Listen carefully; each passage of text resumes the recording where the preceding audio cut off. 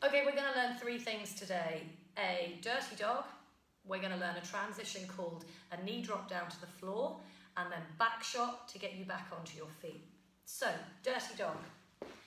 Bend your knees, take the hands forwards onto the floor and lift your heel.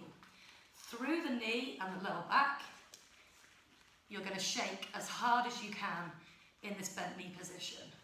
To take you to the floor, push your weight forward, shoulders over wrists. Kick your heels towards your bum and land toes first. Okay? Make sure that the weight is pushed forward, shoulders over wrists. To get back up onto your feet in the back shot, reverse the movement. Shoulders over your hands. You're going to push from the front of your toes, heels back up into the air, and land on flat feet and straighten out the legs. So, bend the knees, hands forward, lift the heels. Shake through the knee and the hip.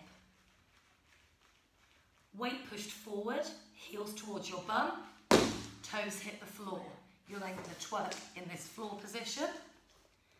And to return, weight forward, push up onto flat feet, and up you come.